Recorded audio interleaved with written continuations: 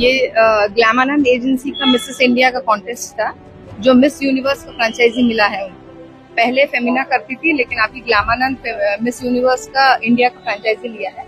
ग्लैमानंद का ही Mrs India का कॉन्टेस्ट जो जयपुर में हुआ है और दस दिन का प्रोग्राम था और सिक्सटीन को फिनाले था। और नेशनल कॉस्ट्यूम में हम झारखंड का पोशाक पहने थे, जो आशीष सत्यव्रत से बनाया गया, ज्वार ग्राम से। तो उसमें बहुत ही बाबाई अपने बटोरे झारखंड के परिधान को आपने आप तीन बच्चे की माँ हैं। है। हाँ। बतौर माँ ये सफ़र कितना मुश्किल है? सफ़र अगर मन में एक where there is a will there is a way